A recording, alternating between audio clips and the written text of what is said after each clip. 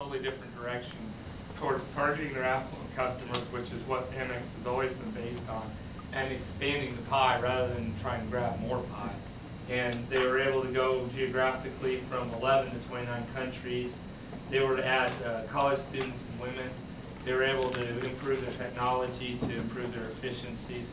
They were also improving their outlets in terms of, back then, there was very little that you could use credit cards for. And then they expanded what you could use credit cards for. So all that. And it- it's not in this article, but in case you're not a student of business, uh, Lou Gerstner proved he was one, he was not a one-trick pony because he went on and resurrected IBM from when they were about ready to implode. And they made him, he made him a world beater in a matter of a few years. So uh, he really was a genius. Uh, Pioneer uh, has done some things that, uh, you know, kind of in that same way about setting direction that I think has really helped us tremendously as an organization. You know, we shut down the Gulf operations and sold our assets before BP managed to blow it up. Um, and which was luck partially, but it was also realization of the risks that we were incurring and that we weren't adequately rewarded for it. Um, we shut down our rigs at the end of 08 when prices were still sky high because we saw kind of the crash coming on the futures and and uh, we took a lot of heat for it, but it turned out to be a genius move. Um, we moved into a more oily environment um, when it became apparent that oil was the option. And, uh, and we've cut operational costs relentlessly these last couple of years without cutting headcount. So, uh, you know, Pioneer in the last couple of years has done a lot of things to look very, very smart and runs the industry. And uh, as people that all get shares in some form or fashion, we're all grateful. Very good. Of those four Pioneer bullets, which ones of those are generally leadership and or management? Top, top three are leadership, the bottom one's management. Def- Definitely. And all extremely important, working together to make that happen. Mm-hmm. Thank you. Let's give them a hand. I want to go to team five. Who is the presenter for team five? Come on up. You are. Sorry, I saw somebody over there. Michael is up.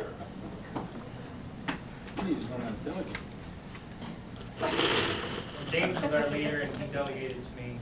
Okay. Did he empower you to do what you wanted? No, he just told me. All right, our question was, give examples of how you create and cultivate challenging opportunities for employees in your department or division. Not a whole lot of us in our group are really in sort of a leadership or management type roles. We came up with a few examples of that. Okay. Um, let's see, so first stage was to provide new resources or tools, uh, different software tools to speed things up, especially if an employee was kind of getting swamped, something to kind of get them to be able to get their head above water and also maybe try out something new. Uh, certainly helps uh, set up the bigger picture in terms of what else they can do, what more they can do, rather than just kind of focusing on one little thing. Um, also, to place an employee in a new role, um, instead of just doing this one thing, expanding their role or changing them. I think uh, James said he turned this one guy's job completely at 180 or whatever, just giving him a different direction in some cases. Um, so place a new role in the same department with a different duty. Uh, in some cases, these are make or break moves. It wasn't because we're just making them into guinea pigs or trying something new. It's because if they don't come through, maybe something is going to happen. happen. They to let go or move teams or whatever. So it's not always just to kind of inspire them. Sometimes there's a little bit more on the line. Um, and the second part of the question was, uh, how does your see, how do your superiors uh, challenge or motivate you? And an example was was given of uh, one individual being given the opportunity to take an idea presented to a manager or a team, and then, all right, that was pretty good, now go and present this in front of a number of vice presidents, and executive vice presidents. That was really good, all right, now I want you to present the same thing to some board director people as well. So it was taking an idea, running with it, exposing them to a wider and wider audience, and then kind of seeing how you could, your ideas and your work could be um, applied all the way up to the top. Great empowerment. Okay? Any other uh, ideas that you have from your boss or you are giving to your subordinates uh, to challenge them, motivate them? somebody. Come on. I bring donuts every now and then. That's a nice reward. That- The sugar motivates, right? Probably not, uh, failing miserably. We talked about setting, you setting goals, a lot of times and setting stretch goals, so, all right, this is zero, what's expected of you, but here's would be where you can kind of move above and beyond that. Exactly. That was a fantastic job presenting that. He did, he did. That's recognition right there. Empowering someone, Charging the which I- college I feel professor this with is this. empowering when you're putting somebody into the board. Sounded and less than 100% encouraging them. sincere. I know he didn't. Is empowering a leadership or a management characteristic? Leadership. Delegating is what generally happens, this is a good example of empowerment from what I'm hearing it. But generally, people say they are empowering when what they are really doing is using a wonderful management skill of delegating. And that's needed, but that's Mhm. not empowering. What is included in all the criteria needed to, when you empower someone? Definitely give them a task, right?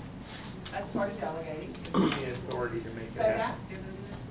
Give them the tools, that's not all, and the resources, that's not always there. And tools can encompass many things, hold on to that one, come on. Well, not only do you give them the task, but they have to, hopefully they realize that you're giving them something that you're willing to do yourself.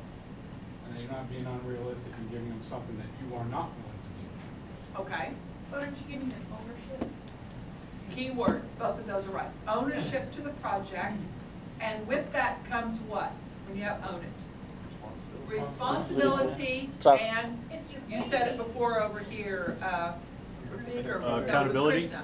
Accountability. accountability. Yeah, and something often falls when that's, when you say you're empowering, and I'm not saying you, I'm not talking about Pioneer. How many times will you hear a company say, it could be a, a five-star hotel, we empower our employees, or in a restaurant, we empower our employees.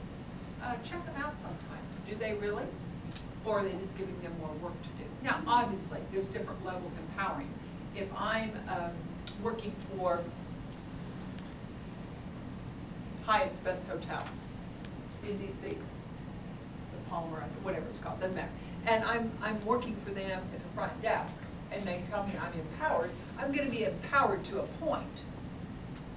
I'm probably not gonna be empowered to give the top suite that costs whatever a night to this gentleman or this lady, just because they didn't like their room, okay? But I may be, be empowered if their hot water wasn't working, or the breakfast wasn't delivered hot, or whatever, to give them something without calling, let me call my supervisor, let me go to the back and see if I can do something about that. No, you want a person to be empowered to a certain point. I'll give you an example of Disney. Disney calls their employees what? Cast cast members, yes, of all levels, whether you are sweeping the streets, whether you are the president CEO, you are a cast member. Each level has empowerment. So for instance, if Sarah here is working at, uh, one of the rides, it's just absolutely the, you know, one of those rides where you stand in line, and even if you've gone for the fast pass, but, uh, she's, she's going to be standing there, putting people on, and little Susie comes up, and she's been standing there, and she drops her, you know, one of those five dollar ice cream cones goes flipping over, and she's just a little girl, little boy, whatever it might be, crying. What is she, she's empowered to do? Either give her a, little ticket to go get one, or she goes and gets one for her. They are empowered to do that. Is she empowered if the mother comes up and says, oh, that's just ruined my day, because she's upset with this ice cream, please clean it up, blah, blah, blah, blah, and I want my, my day uh, ticket of a hundred dollars reimbursed? No, no, she's not at that level. The next level may have that if something happens so bad that they, uh, management level. So they have different levels, but she has some empowerment. She can also give out a pass. If I bring up my two-year-old, thank goodness I don't have a two-year-old anymore, but I bring a two-year-old and he doesn't fit on, on, um, Tower of Terror. He can't, he's not tall enough to go on that, and he has been looking forward to it, he's seen it on TV, and he's two and a half, and, oh, I can't wait to go on, and he is that much too short. Safety is first for them, So they're gonna, she's gonna deny him to go there, and he is, and I've seen this, he is sobbing, because this has been his biggest thing since seeing Mickey Mouse yesterday.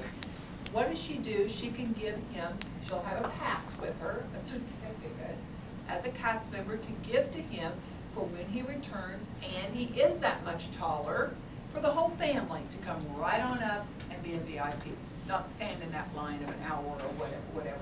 Now, does that solve it? No, but it gives her some empowerment and generally puts a smile on mom or dad's face too, and helps with it. So, there's different levels of empowerment. Uh, but it does, all the areas you gave is what it's important for. Okay, number, uh, seven, please. Institutionalizing a leadership-centered culture at Pioneer.